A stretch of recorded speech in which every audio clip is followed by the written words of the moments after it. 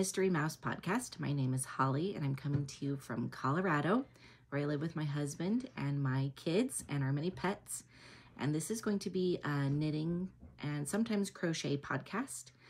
And I just wanted to have a place to talk about my things I'm working on and things I'm interested in. And I hope you enjoy it. So, um, the reason I'm called the Mystery Mouse podcast is because I love books, I love knitting, and I love mouse stories. And so I kind of wanted to put all those things together. And um, this is a little mouse that my son Teddy made for me. He is a really good felt artist. He loves to um, make things out of felt. He made this all by hand out of from a drawing that he also did. So this is my mystery mouse. His name is Arthur Cardigan and he is my mascot. So he is going to be with me as I talk about my um, projects today. Uh, first thing I wanted to talk about is something that I'm knitting for my baby, Grady. He's five months old, out of this Debbie Bliss magazine. I loved these Debbie Bliss magazines. I don't have all of them. I think I'm missing the first few issues, but they only came out um, every six months or so. They had a fall, winter, and a spring summer issue. And I just love them. I, I really miss them a lot. I wish they would do more. But this, um, this project I'm doing is a baby sweater. It's a cabled baby sweater with a hoodie. And it is so cute. I don't do a lot of cabled projects, but um, I really like this one. So I'm doing it out of red baby cashmerino. This is as far as I've gotten. My aunt sent me this yarn. She asked me to um, pick out yarn for a project, and so I told her I wanted to knit that in red yarn. And so she sent me the yarn, and I love it. And I'm really kind of knitting this slowly because I really enjoy it. I love working with baby cashmerino. It's really soft, and it's fine, so it's going to go slowly. So my baby is five months old, and I'm going to knit the uh, 12 to 18 month size because um, I want it to last as long as possible. So he probably won't be able to wear it till next year, but hopefully he'll be able to wear it maybe, maybe at least two seasons. And um, that is that. I think that's all that's in here. I did check. This is one of those um, baskets from Africa, and I love it so much. Um, the next thing I wanted to talk about was this I'm making a sweater for my son Toby. He's 11 and he loves knights and medieval things. And I made him a knight sweater when he was younger and it was really stretchy. They finally grew out of it. He kept trying to get into it and it was kind of sad. so I'm knitting him another one. So this, I'm just making this one up. I'm doing kind of the same feel as the first one, which I did do from a pattern. I think it was from a book I got at the library. But this is uh, this is just gray uh, Cascade 220. And I'm doing sort of a knit two rows, purl a row, and then it's like you have to alternate. It's really confusing. I still have to figure it out because it's just like it's got a row of garter stitch in between the stockinette. And you either have to do two purls in a row or two knits in a row and it alternates. So um, I have to really pay attention when I'm knitting this, which is kind of annoying. But anyway, that's the back. And I did the front up to the armholes. And on the front, I'm doing this. This is folded in half, but on the front, I'm doing like a, like a panel of blue in the middle with this gold border. And I was going to do it on the back too, but I think I was afraid I was going to run out of gold because it's a leftover from something. And so it's not even a whole ball. So I decided just to do it on the front Plus, this was taking a long time because I was doing that stitch pattern on the edges, then garter stitch on the, the gold border, and then stockinette stitch on the blue. So I had to really pay attention uh, as to what stitch pattern I was doing where. But this is up to the armholes. This is taking forever and he keeps growing, so I sure hope I get it done.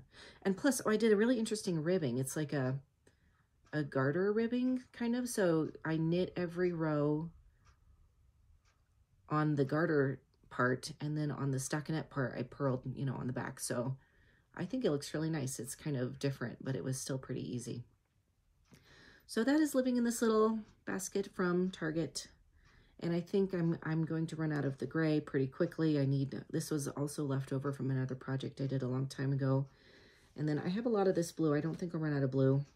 This is all the gold I have left. I hope it's enough to finish that gold thing. And then I think I'm going to um, like duplicate stitch some kind of knight picture on the the blue part, either an eagle or a lion. He had a lion on his other one. And um, so I'm not sure if he wants the same thing, like a lion rampant or rampant with its reared up on its hind legs. So something like that, I'm going to let him pick. Hopefully I'll be able to find something that he really likes. So that's Toby's knight sweater.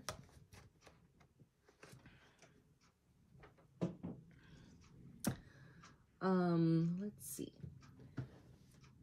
I have in this bag, this is just a project bag I made for myself. I think it was like baby fabric, but I love it. I have a project in here for one of my girls. You guys are probably like, how many kids does she have? I'll tell you eventually. but anyway, this is for my daughter, Ivy. I'm going to make her a Christmas dress. And with knitting, you know, the hardest part is knitting a lot of fabric. Like knitting shaping is not so hard once you get the basics down.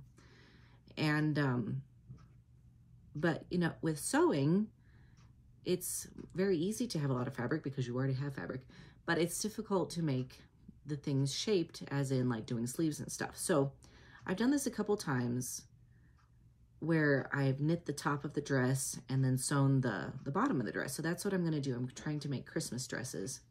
So this is just a little yoked top, kind of very cropped. Um, Ivy is nine. She's very tall. She's taller than most of her friends who are 10. So she is a very tall girl. But anyway, she's nine. She's very skinny.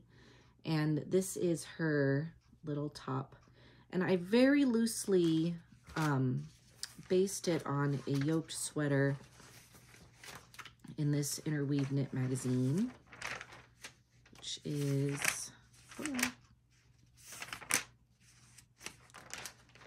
this, which I think is so pretty. I really wanted to do a, a lace yoke top, but this is like velvet yarn and it's very fuzzy and I, um, you just couldn't see the pattern. I didn't like how it looked on the back. It's very, it's very bumpy on the reverse stockinette side. So what I ended up doing was just doing the increases around a center stitch. So you can see there's just two little eyelets going down. And they're still very difficult to see, but I figured it'll give it a little bit of laciness without distracting because it's, like I said, it's an interesting yarn. It's called Velvety Smooth Sparkle. And this is a Yarn Bee yarn, Velvety Smooth Sparkle. And I think I did this in about um, a, ball and a half. I'm not sure because I knitted kind of like a practice one and it was too big and so then I scaled it back. Now for my other daughter, Mary, I am going to knit this blue one. And she has blue eyes, so that's gonna look really, really nice for her. She is a little bit bigger than Ivy, even though she is younger than Ivy. So um, I'm kind of using this one to go off of for how much I should add. I like to make up my own stuff, and it's not necessarily like I want to write patterns.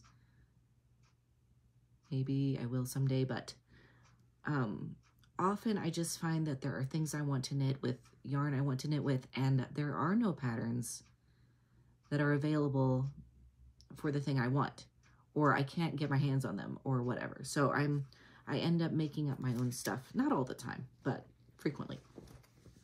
So those are for my two girls, and I need to get those done. I'm hoping by like the middle of November so that we can get maybe our family pictures taken for Christmas and they will be able to wear those. It's always hard to find clothes for everybody for the family pictures that, you know, they all look good together and they all look nice and everything like that. So I will be happy to make that for them. Um, next, um, I am making costumes for Halloween. for my baby. Well, for everybody really, but this is for my baby. He's going to be a sea turtle. So I crocheted him a shell. Now, these are just hexagons, and I've, I've never even crocheted hexagons before. I kind of made it up once again. I figured it out because I know how to make a granny square. So I just uh, did it differently so it would end up with six sides, and I'm pretty happy with how it turned out. Um, I thought I was going to do this as the front where I crocheted it together, but I think I actually like this side better. So I think this is going to be the front. I would really like to fill in these gaps in between, and I'm not sure how to do it because they're not half hexagons. They're like a little tiny bit of a hexagon, and I'm not sure how to do that. So I'm going to have to look that up and see because then it would be one big hexagon and uh, it would be nice and flat. I mean, if this is how it ends up being for his turtle shell, that's not a big deal, but I would like to try to figure that out. And then I don't think I'm going to sew in all these ends. I'm just going to tuck them in and um, I'm probably going to put a piece of fabric on the back of this and stuff it so that I might have to line it also so that it doesn't show through the holes. But I'm going to stuff it so it looks more like a shell and make a little backpack out of it so that he can just wear it. And I got him a green sweatsuit, so and uh, on he has a hood on his sweatsuit, so I might put some little turtle eyes on there. I'm not sure, so we'll see about that. But that is his turtle shell. Then for Mary, she wants to be his mama turtle, so I'm just making a bunch of hexagons for her. And I have this bright green. This is Brava worsted. This was um this was just a ball of Lion Brand Amazing that I had left over. I, I used a little bit of it for something but it wasn't quite a whole ball, and I didn't have enough. One of these hexagons actually has some leftover uh, tweed from a vest I knitted from, or yeah, knitted for my husband. And it's a little bit thicker, but I don't think it matters. He's a turtle. Um, so anyway, I have uh, some Brava worsted from Knit Picks, and then I'm just using leftovers of other greens that I have. They're all worsted, but I think they're actually all different um, materials. Like one is uh, Knit Picks Wool of the Andes wool. And then the other one is, I think, some Lion Brand Wool Ease. So it's like wool blend. But um, they're all different colors of green. And so I'm just going to mix them up and knit her a much, or crochet her together. And a much bigger shell because uh, she is the mama. So that is for Mary. Um, and I think those are the only like yarn related costumes I'm making. I'm sewing Ivy's and Teddy is going to help me with his. He's my oldest and he sews a lot. And so he's going to help me with his. And uh, so anyway, the other thing that I have in here is um, a project I'm so excited about because it's not time sensitive and I can just work on it when I feel like it. But I am making a little granny square blanket out of my advent calendar from last year. And I'm so excited. I waited and waited and waited. What should I do with my advent calendar? I don't know. Should I use them all together? Because they're very variegated and different looking and I love them all. But I wanted to use them together for the most part. And I wasn't sure what would look good. I decided on a granny square blanket edged in black. I love how that makes the colors pop. And so I've already done a whole bunch. This was my favorite color. This, um, this advent calendar was from Southern Storytime on Etsy. And um, I've ordered other yarns from her and I got her 12 Days of Christmas advent calendar last year and it was white Christmas themed and I really like it. I really liked it. This was the color for um, the song Choreography. So if you know that movie, this is like, I, I love this one. It's perfect. And I don't remember what all the other names are, but I always remember that one because it looks like what it is supposed to be, and I really like it. I think this one is the Carousel Club from when uh, Rosemary Clooney goes off to the Carousel Club, and it's like, you know, everything's black and pink. So anyway, so I have a bunch of those, and um, I'm really excited because I am getting the Southern Storytime Advent Calendar again this year and I'm so excited. And it's a 12 days of Christmas advent calendar. So I have 10 20 gram minis. And um, because I used two of them before I had the baby, I used one to make him a baby hat because it was blue and white. And I'm making baby socks out of one. So I had 10 left. So I was like, before I ruin this, use up all of my minis on something else, I'm going to start this. So I'm going to just, when I get my advent calendar for uh, this December, when I open them, because I'm always good, I don't open them early, I, I really look forward to it. I really look forward to it because since it's a 12 days of Christmas advent calendar, I wait till the 12 days before Christmas. I um, am a choir director. We always have a, at my church, and I always have a big Christmas program in the middle of December, and then it's like my Christmas can start after that. So that will be around the time I'm able to start my advent calendar and my Christmas. So anyway, that is what I'm doing with my advent calendar from last year. Uh, I find that I really enjoy crochet as a as an alternative to knitting just because it's different and it is quicker. I feel kind of sorry for people who crochet and then knit because it seems so much slower, especially when you have a learning curve and people who knit already and then crochet are like, wow, this is relatively easy. There is definitely hard things about crocheting I don't understand. I am not a super confident crocheter, but the things that I know how to do, I feel pretty confident about. So, all right, next, I have a lot of WIPs and that's okay. It's okay. Um, another sweater for my baby that I'm making is just a flax sweater. And I just started this a few days ago. I love knitting for babies. It's so fast. This is just um, a Cascade 220 something special like effects or something. I should go get a ball band, but maybe next time. And I'm going to, there was a, there was a pattern in a magazine that had a blanket made out of this yarn and this color and it had clouds on it. And um, that's kind of the theme I picked for this baby is uh, clouds and like sky and stuff like that. So what I'm planning to do is just knit this sweater plain and then I'm going to duplicate stitch like a sun on it and then a cloud. And actually I love cloudy days. I love, I would prefer cloudy days to sunny days. Um, we live in Colorado and we get more sunny days here, I think, than Florida does. We have sunshine almost every day. And, you know, it does rain here and stuff, but, and we're not like in the desert like say Arizona or New Mexico really, but um, it just doesn't rain a lot, especially at some times of the year. It'll go months without any precipitation or cloudy days. So I love cloudy days. They're special and I feel like they're very relaxing. So I'll probably do a sun with a little cloud kind of in front of it. And, um, but I think that'll be really cute. And actually I have enough yarn, I think, to make myself a sweater to match him, which would be really fun. And I'm hoping just to make mine with uh, just clouds all over it, just because I love cloudy days. And he's my son, so it'll be sort of a, a punny sweater. So, but I'm really enjoying that because it's in that nice easy stage where you're just doing the raglan increases and I'm not doing the garter panel.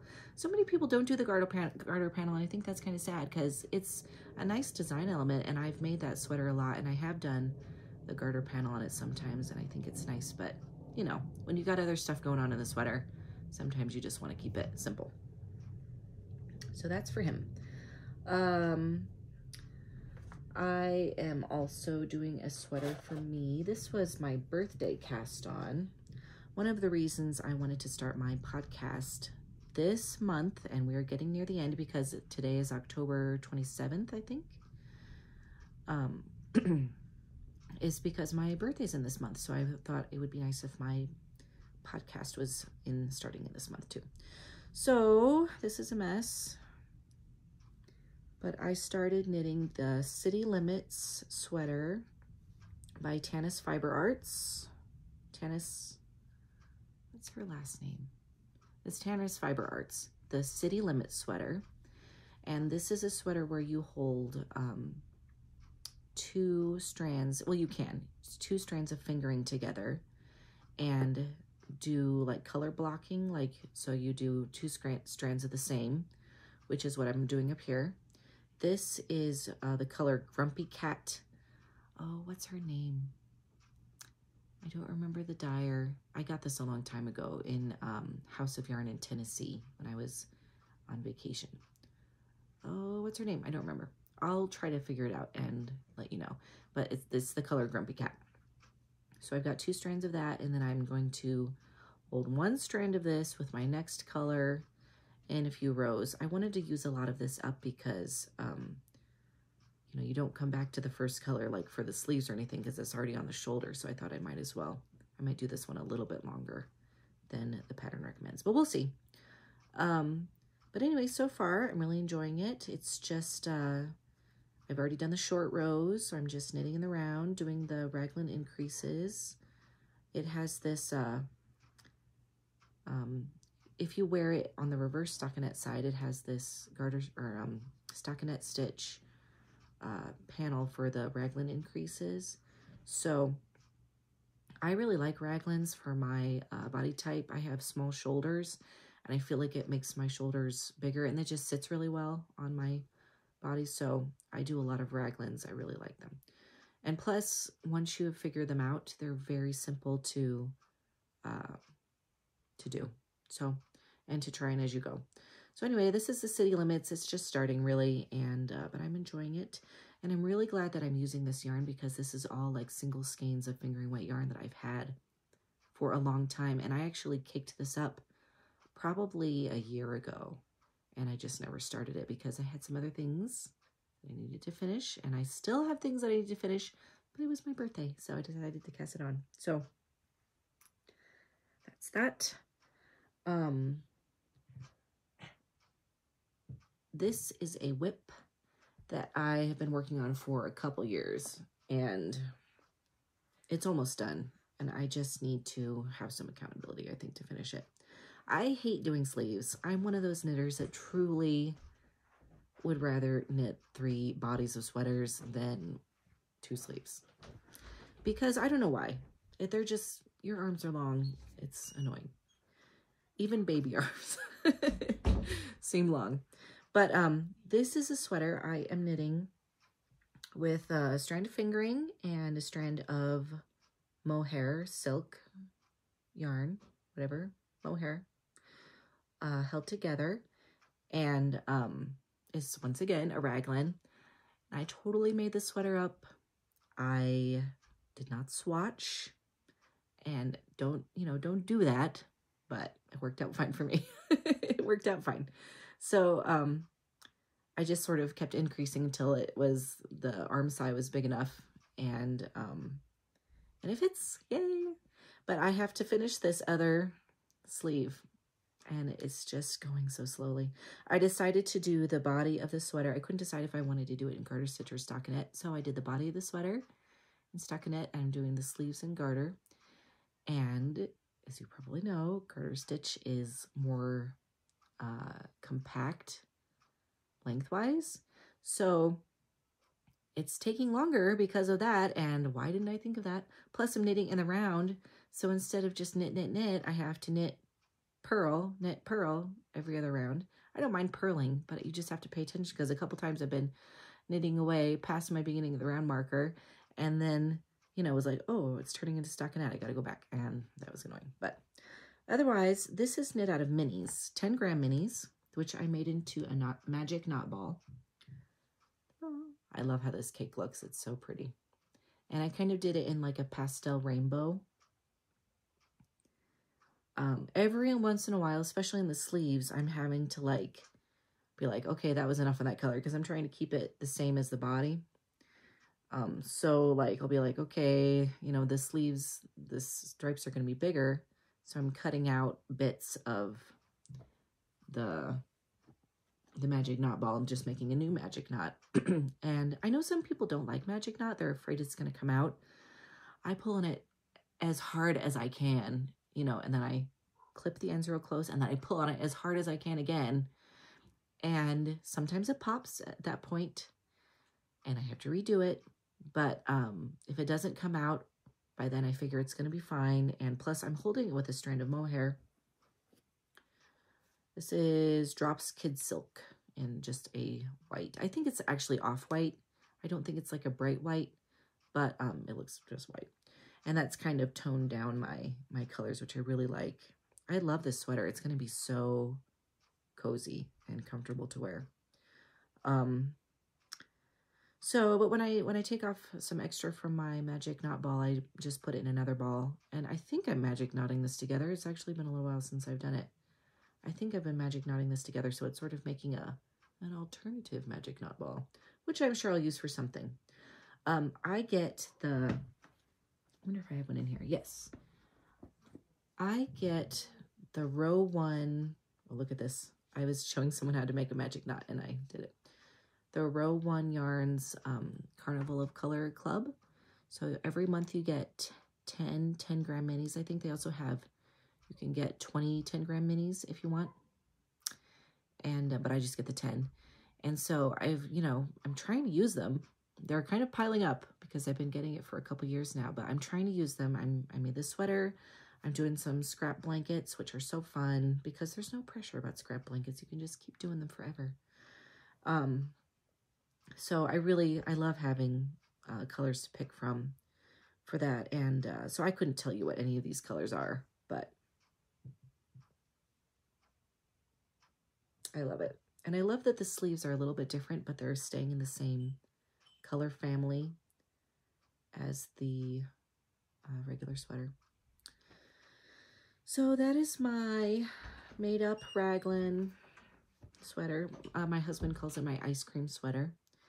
So I need to finish that because one of the reasons I didn't finish it was because um, I was knitting away in it and I was about at this point last fall and then I found out I was going to have a baby and I was like, oh, I won't be able to wear it for like a whole year.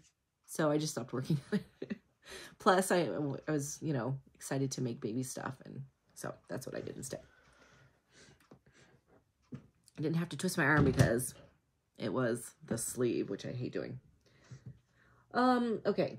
I am knitting a pair of socks for my husband. I have been knitting this pair of socks forever.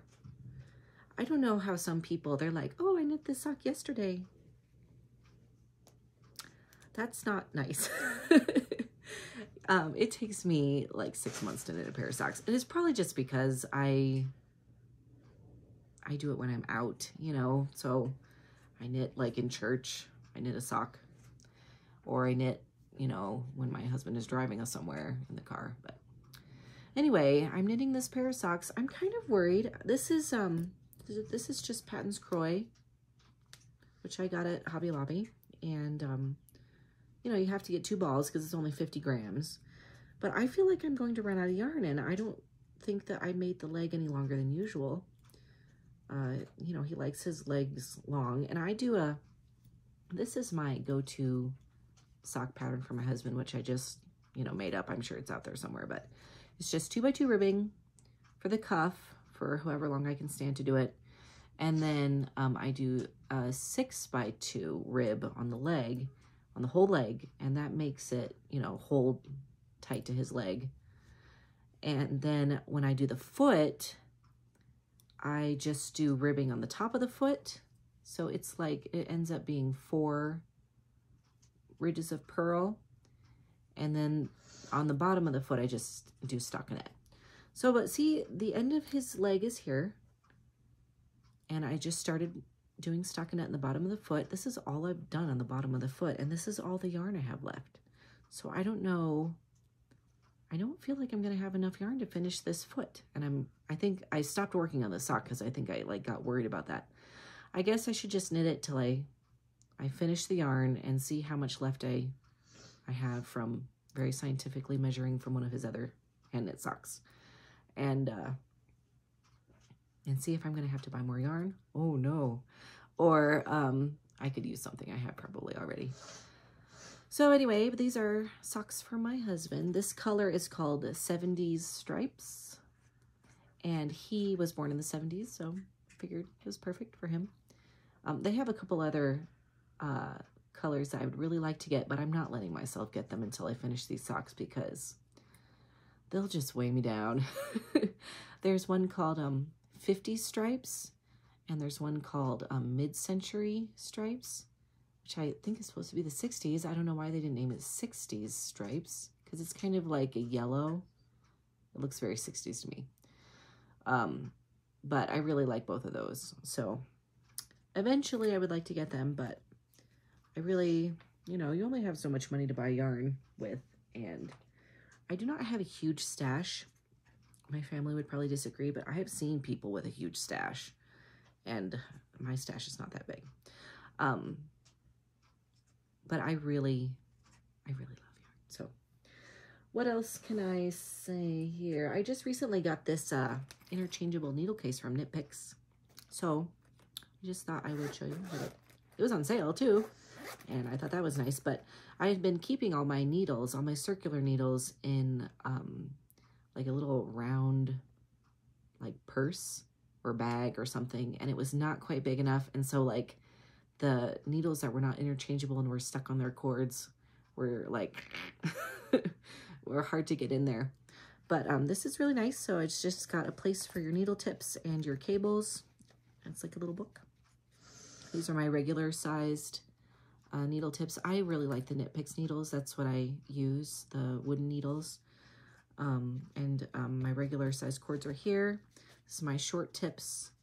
And uh, these are so cute. I just love them. And these are my short cords. So um, I uh, I have more needles than this, but they're all in projects or floating around needing to be rounded up. Um, let me see what else I have. This is a basket my mother-in-law just gave me this summer when they came to visit. And uh, someone in my husband's family made this. So it's it's really nice. It's really sturdy. So I'm using it to keep a lot of knitting stuff in. Um, let's see. Oh, so, and here's one more, one more project, one more WIP. Then I'm going to talk about some dream knitting.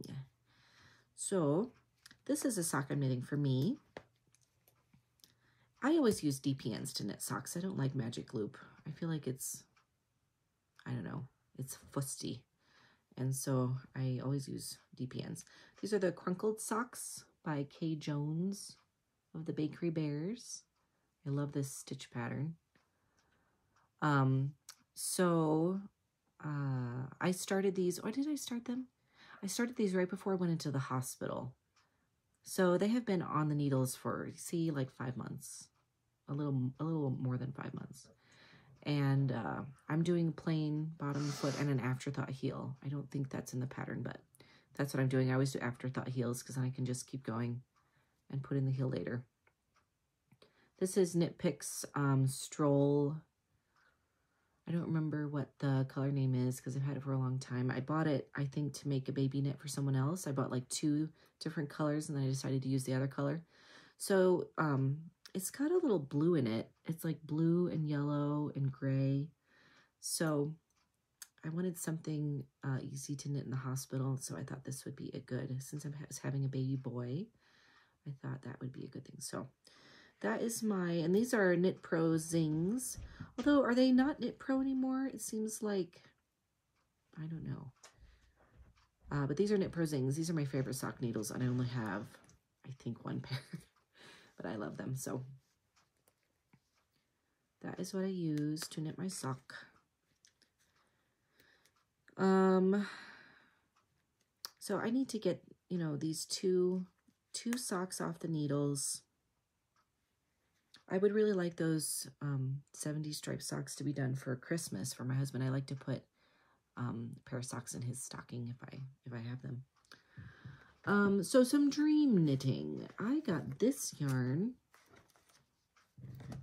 I got this yarn on my vacation this summer. We went to Kentucky to see my brothers and go to the uh, the Ark Encounter, which I loved. It was amazing. But I, we went to a little yarn store, and I don't remember what it's called.